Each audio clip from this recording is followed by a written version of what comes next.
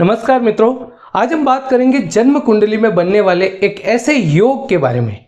ये योग जिस जातक की जन्म कुंडली में होता है, उस जातक के चाहने वालों से जलने वाले अत्यधिक होते हैं।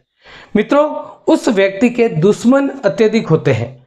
मित्रों, जन्म कुंडली में ऐसा कौन सा योग होता है जिसकी वजह से उसके शत्रु अत्यधिक होते हैं? एक व्यक्ति जो हमेशा दूसरों का भला करता है, सभी का अच्छा करता है, उसी के साथ हमेशा बुरा होता है।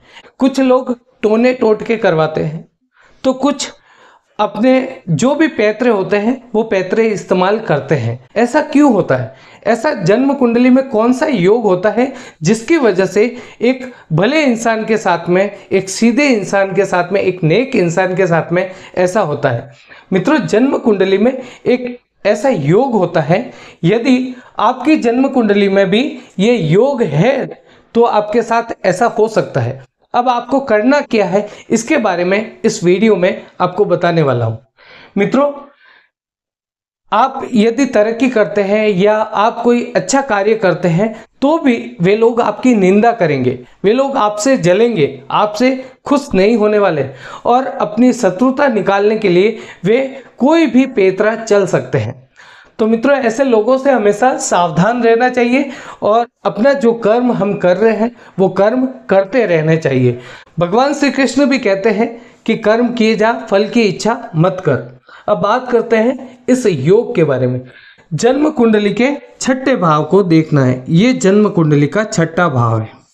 आपकी जन्म कुंडली में इस भाव को देखिए। इस भाव को छठा भाव कहते हैं सष्टम भाव कहते हैं। इस भाव का स्वामी कौन है और वो कहाँ पर बैठा है, ये देखना है। जन्म कुंडली में यदि छठे भाव का स्वामी जन्म कुंडली के लग्न भाव में हो, ये जन्म कुंडली का लग्न भाव है। यदि इस भाव का स्वामी जो है, वो इस भाव में बैठा हो या फिर पंचम भाव में बैठा हो, ये जन्म कुंडली का पंचम भाव है, पांचवा भाव है। जन्म कुंडली के छठे भाव का स्वामी यदि लग्न भाव में हो या पाँचवें भाव में हो, तब उस व्यक्ति के साथ में ऐसा घटित होता है कि सभी, यानी उसके चाहने वालों से अधिक उससे जलने वाले होते हैं। तो मित्रों, ये इस तरह से देखेंगे। अब जन्म कुंडली में इस भाव में एक नंबर से लेकर बारह नंबर का कोई भी संख्या हो सकता है। तो एक नंबर या आठ नंबर हुआ तो इस भाव का स्वामी जो है, वो मंगल ग्रह होगा। दो नंबर या सात नंबर हुआ तो इस भाव का स्वामी शुक्र ग्रह होगा। तीन नंबर या छह नंबर यहाँ पर लिखा है तो इस भाव का स्वामी बुध ग्रह होगा। चार नंबर लिखा है तो इस भाव का स्वामी चंद्रमा होगा।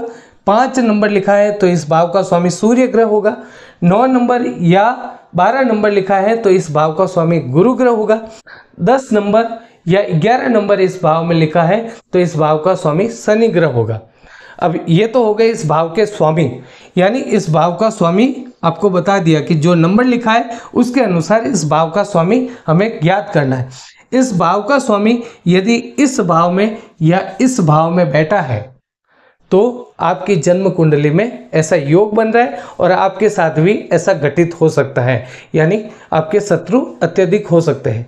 तो मित्रों, ऐसा होने पर आपको मैं एक ही बात कहूँगा कि व्यर्थ चिंता न करें। आपके हक में जो है, वो आपको मिलकर रहेगा। लोगों के बुरा चाहने या बुरा करने से कुछ भी नहीं होने वाला है।